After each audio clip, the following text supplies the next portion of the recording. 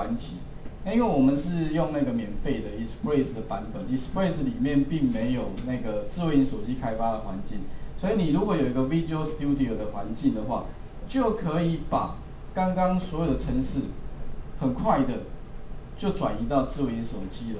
我刚刚已经写好了，其实不用写，主要就是我刚刚做了什么动作了。第一个，我就开一个新的专案，新的专案哈，里面呢你就去选哈，我先把它储存好了，好，这我先把它存在存在这个桌面上好了。我刚刚刚只是做了一个动作，就是说把那个把那个界面有没有放上去哈，把它把它改一下。那你会发现呢，它的开发环境都基本上是一模一样的。你就只要选择有没有，这个是 Visual Studio 环境哈，里面呢差别就是怎么样呢？智慧型装置有没有？那在我们 Express 版本没有智慧型装置，差别在这里。那你只要选什么呢？智慧型这个嘛专案？然后呢，直接点进去之后，假设我这边再给它改一个二好了，刚刚有个一的二，确定。再选择应用装置，并且选择你要放的 mobile 啊，应该五点零以后的版本有没有？直接就选择按确定，就会跳出一个环境。那它基本上呢，也是一个什么呢？差别就是说，它是在什么呢？在这个智慧型装置做开发。那我们之之前做的动作就是先放什么工具箱里面的东西嘛？那其实工具箱里面的东西都会有，像 button 有没有？像 label。像 test box 在这里都长得一模一样，你只要把它拖上去，并且修改它的属性，界面就做出来。那我刚刚已经做好一个了，哈，这边有已经做好一个，最近做过这个。好，然后呢，再来做什么呢？界面做好之后啊，再把程式复制贴上。那我刚刚呢，只有把那个我们刚刚程式里面啊，只有那个键盘。动作，因为在四维手机里面没有键盘嘛，所以键盘什么，我们不是有一个四十八到五十七那个城市不要贴上，啊，其他你就把它复制贴上去，贴上去之后呢，城市就写好了。我们来试试看有没有这个界面，这是我刚刚做的，上面这个名称我都把它取一样，有没有 LBL Small，然后这个把它改成 LBL Large，那你会发现它开发的环境哦，跟我们的一模一样。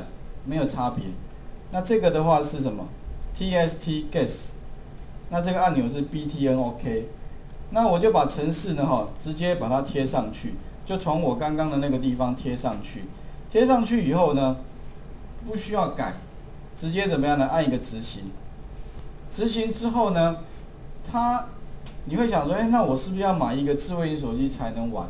不用，它已经内建一个所谓的模拟器。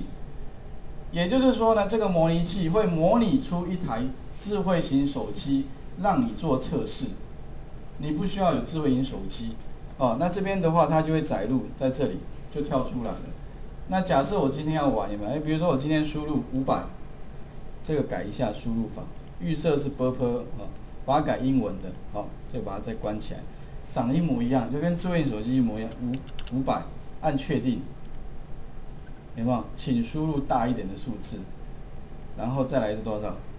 七五零，按一个确定。再小一点的数字是多少？再来一个是六六五零，好了，好，按确定。小一点的数字，那也就是说这地方哈，你会发现，哎，它一模一样，没什么改变。再来是五五零，那结果呢？哈，大一点，大一点，五七五。确定，小一点，五七五七零，啊，五六五六五，啊，那这样子的话呢，一样哦，有没有？城市，哎，答对了，你会发现根本就一样的东西。那也就是说哈，当然如果有同学刚有有有兴趣的话呢，其实实际上就是可以把。我们现在所学的程式，或者上学期有上过课的同学，也可以试着把这个东西再做一个转换。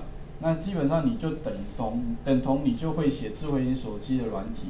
那你再把那个 compile，比如说你把它做成一个执行档，直接像 Windows Mobile 的好处就是有些不需要安装，直接放进去就可以执行的。啊，那另外的话就是说，它也可以帮你建立一个安装程式，也可以直接安装在电脑，安安装在你的你的智慧型手机也是不会有问题的。所以这里的话顺便补充一下哈，那这个就是一个要不要储存？就不要关掉好了，然后就把它止停止掉就好了，差别不大。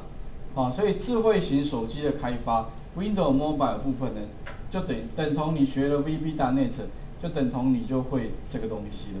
差就是差在你如果有这个环境，Visual Studio 环境，哦就可以了，就就可以用了哈。